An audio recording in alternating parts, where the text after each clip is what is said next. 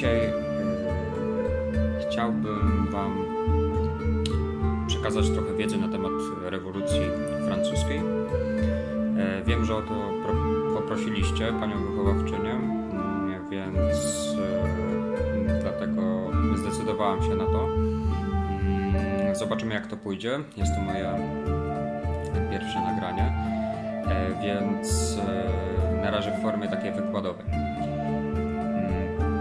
myślę, że myślę, że to pomoże Wam, tak? Bo zawsze ten kontakt mm, bardziej lub mniej bezpośredni Wam służy.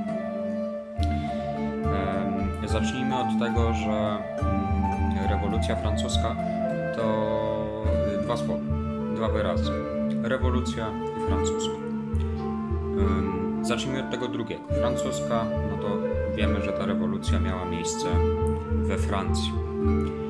E, rewolucja e, to inaczej e, nagła mm, zmiana, która doprowadza do szeregu innych zmian lub też jakichś mm, niespodziewanych i nagłych przemian społecznych, gospodarczych w danym państwie i w tym wypadku we Francji. E, kiedy to miało miejsce? No miało miejsce to pod koniec XIX, e, przepraszam, XVIII e, wieku. W jaki sposób do tego doszło? Dlaczego do tego doszło? No to jest właśnie cel dzisiejszego filmiku, żeby Wam to uświadomić.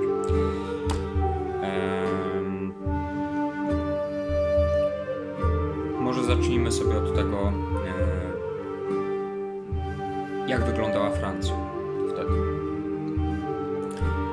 E, Francja, e, mówimy tutaj o Francji mm, przedrewolucyjnej, czyli powiedzmy lata 70., 80. XVIII wieku. Panuje Ludwik XVI, e, który no, jest królem, który panuje w epoce oświecenia stara się oczywiście wspierać, e, tak jak każdy oświeceniowy władca, mm, naukę, kulturę i sztukę. E, jest także monarchą absolutnym, ponieważ e, w Francji w tamtym okresie panuje absolutyzm. O tym już wiecie, jest to, jest to ustrój, w którym monarcha decyduje w zasadzie o wszystkim w państwie o prawie każdej kwestii. Natomiast Ludwik XVI jest też osobą o tyle specyficzną, że jest to człowiek, który mm, powiedziałbym niezbyt nadawał się do rządzenia państwem. E, jest to osoba, która mm, słynęła z bardzo wystawnego trybu życia, e, która bardzo dużo pieniędzy wydawała e, na najwyższą jakość jedzenia, picia, wina, szampana, bardzo drogich strojów, e, dbania o mm, wygląd e, dworu e, w Wersalu, tak? ponieważ tak się nazywał pałac królów Francji. Król Ludwik XVI codziennie wyjeżdżał na polowania, na których przebywał mniej więcej połowę dnia. Słynął z bardzo e, wystawnego trybu życia, e, przejadania się i e, kupowania w nadmiarze różnych produktów. Słabo znał się na państwie, niezbyt też interesował się tak naprawdę całą Francją. Nie miał dobrej opinii Francja jako kraj była bardzo zadłużona ówcześnie. Mm. Jej zobowiązania liczyły e, dziesiątki milionów liwrów. Wtedy liwr to waluta francuska. E, Francja, e, co prawda, była na zewnątrz potęgą, tak? no, wyglądała na taką potęgę, państwo duże, państwo posiadające kolonie, państwo posiadające dość sporą armię. E, jednak to był taki troszeczkę kolos na glinianych nogach. E, sytuacja społeczna wewnątrz e, nie była też łatwa.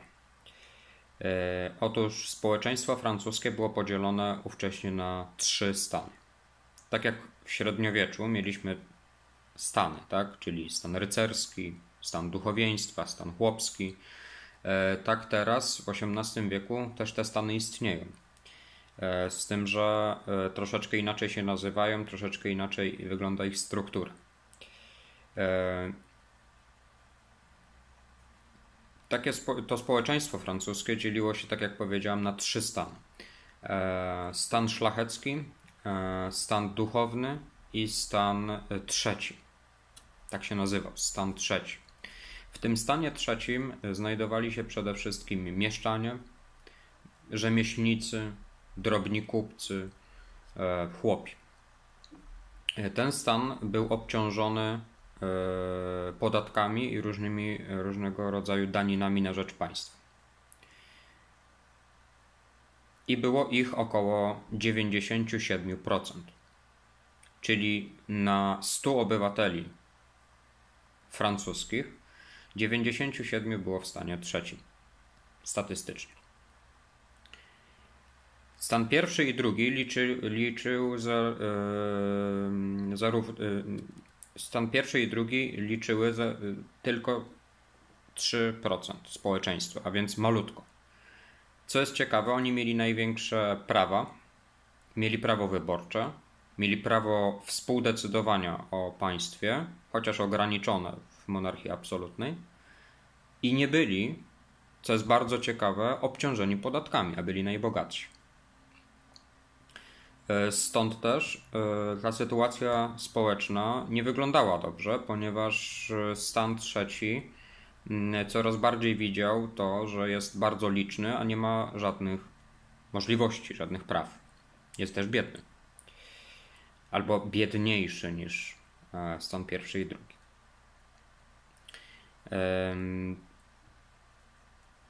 Ludzie widzieli także, że mm, monarchia francuska prowadzi bardzo wystawny i przesadnie e, bogaty e, tryb życia.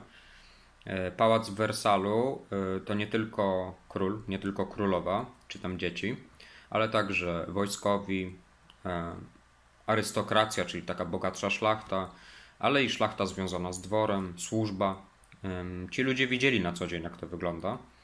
E, pałac był bardzo wystawny, pałac był bardzo bogaty, e, jedzono tam najwyższej klasy jedzenie, podczas gdy często ludność Paryża musiała się zadowolić na przykład suchym chlebem i kawałkiem sera. Dlatego też obywatele coraz bardziej patrzyli mm, sceptycznie, niezbyt przychylnie na władzę królewską. W przededniu tej rewolucji w 1789 roku miały się zebrać tak zwane stany generalne, czyli przedstawiciele każdego stanu. E, mówimy tutaj oczywiście o stanie mm, pierwszym i drugim głównie mieli e, zebrać się i debatować e, z królem na temat zmian w państwie. Król liczył na to, że każdy z tych stanów będzie osobno, przez co może ich świetnie kontrolować. Natomiast oni zaskoczyli króla. I zebrali się wszyscy razem. Król, e, wiedzie, wiedząc, że może ich e, nie do końca kontrolować, e, odwołał te obrady, tłumacząc, że w sali królewskiej jest remont. Na to przedstawiciele Stanów postanowili przenieść się do sali w gry, gry w piłkę w pałacu i tam nadal kontynuowali swoje obrady. Te obrady przyniosły mm, pewną nowość, ponieważ te stany przeobraziły się w taką instytucję zwaną konstytuantą. konstytuanta, czyli taki organ, który miał uchwalić konstytucję. Oczywiście było to nie, nie do pomyślenia, dlatego że e, król by to, na to w żadnym wypadku nie pozwolił. I widząc to, co się dzieje, e, król wyprowadził wojsko mm, na ulicę Paryża. E, ludzie, którzy byli związani e, z tymi posłami na stany generalne, wyszli na ulicę, protestowali, wojsko strzelało, wtrącało do więzień. I można powiedzieć, że ta mm, skala e, protestów i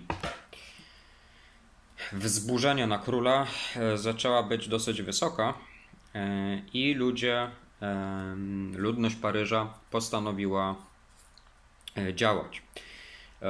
Ludność Paryża wyległa na ulicę, skierowała się w kierunku takiej potężnej budowli więzienia Bastylia, które było symbolem władzy, ale i tej takiej opresji królewskiej, e, czyli wtrącania ludzi do więzień. Postanowili zdobyć to więzienie. Mm, I w chwili zdobycia tego więzienia, 14 lipca 1789 roku, datujemy początek rewolucji francuskiej. Co ciekawe, w tym więzieniu w ówczesnym czasie e, było zaledwie kilku więźniów i paru żołnierzy. E, także zdobycie Bastylii nie wyglądało tak, jak e, często pokazują nam to filmy, gry komputerowe, że tam była jakaś wielka bitwa. Po prostu ludność wtargnęła do środka, mm, wyrzuciła tamtejszych żołnierzy, uwolniła paru skazańców i to tak naprawdę tyle, ale to był symbol. Ważny symbol do Francji. Mm, nowej ery, tak? E, nowej ery, która miała przynieść e, już niedługo mm, bardzo skrajne, bardzo ostre e, skutki dla całej Francji, ale też dla całej Europy. Na dziś tyle. Dziękuję bardzo, że wysłuchaliście, obejrzeliście ten filmik. E, mam nadzieję, że chociaż trochę Wam się podobał. Dziękuję i dziękuję za zaangażowanie. Do widzenia.